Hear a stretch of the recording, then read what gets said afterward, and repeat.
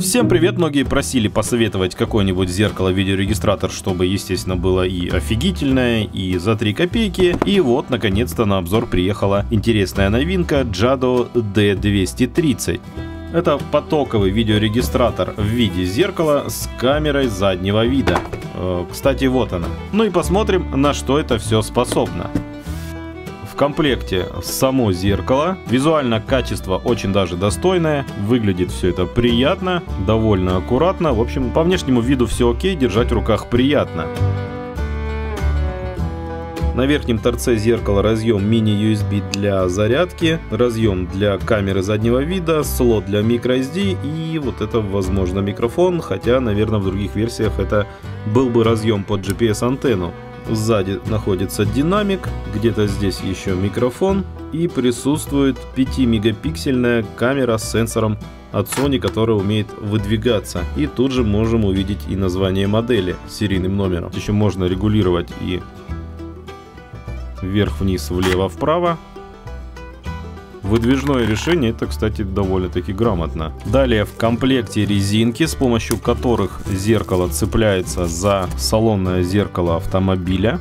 Новогодняя партия веселящих шариков, кабель питания длиной примерно 3 метра, ну как правило они все одинаковые, инструкция по возможной установке и несколько бумажек типа инструкции и наверное гарантийка. И вот такая вот камера заднего вида, которая теоретически водостойкая, но она, честно говоря, какая-то странная, какие-то непонятные ушки у нее здесь, и весит она прилично.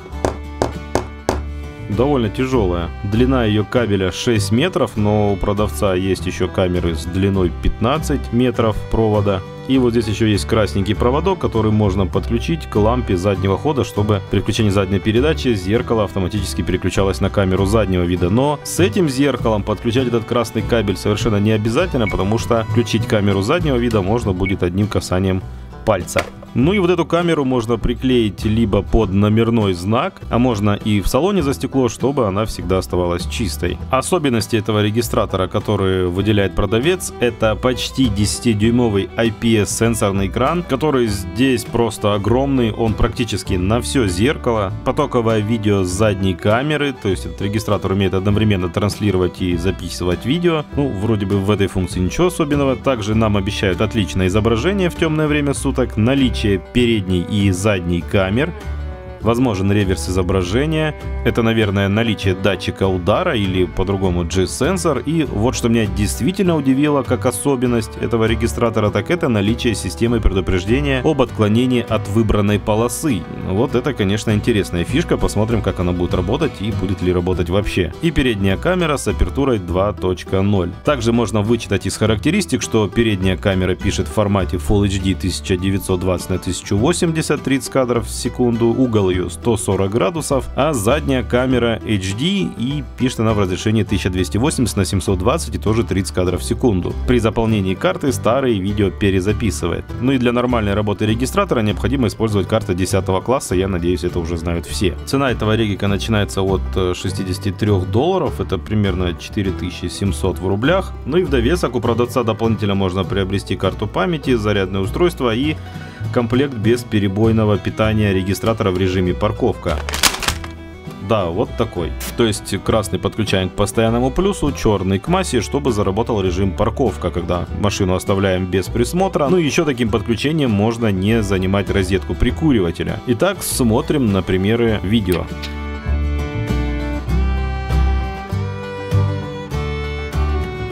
Ну а что касается примера записи звука, то вот вы слышите, насколько он хорошо или плохо записывает этот звук. Окна закрыты, я разговариваю, музыка не играет.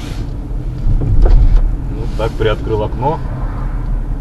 И да, вот у нас такая вот зима без зимы.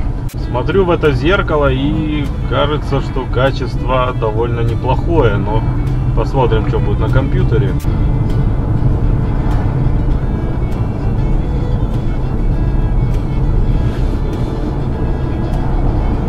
что видели.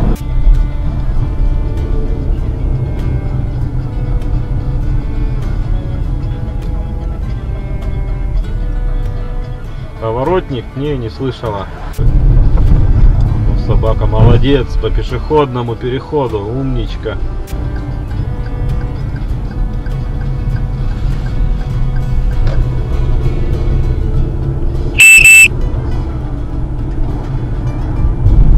Нихера она орет.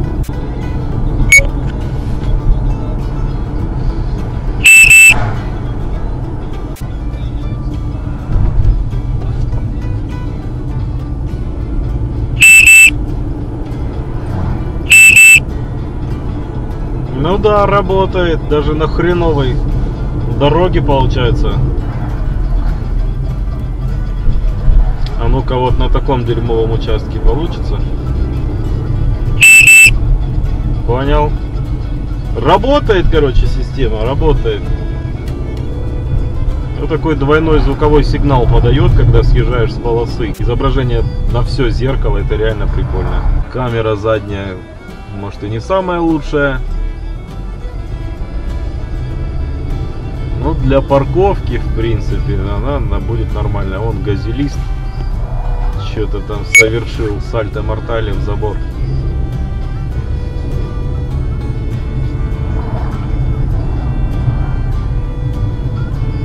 Короче, срабатывать начинает э, эта система, система это LWDS или как, она начинает срабатывать, когда подъезжаешь в сплошной, где-то сантиметров, наверное, 20 от нее остается. Не, наврал, 30, да. Искажение зеркала не дает вроде бы. Солнцезащитные козырьки не цепляются, уже тоже большой плюс.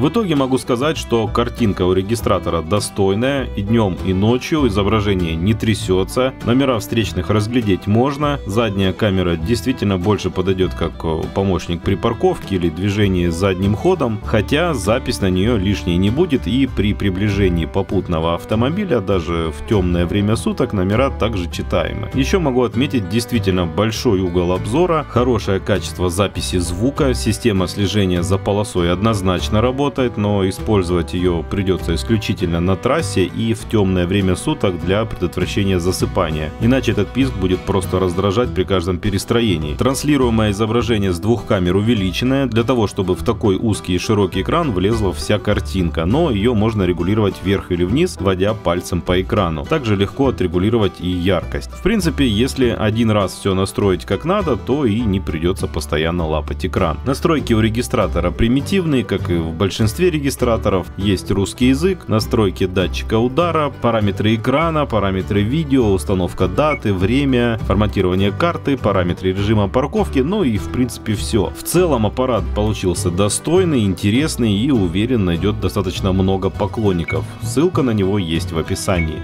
Но у меня на этом все, друзья. Всем добра, увидимся и пока-пока.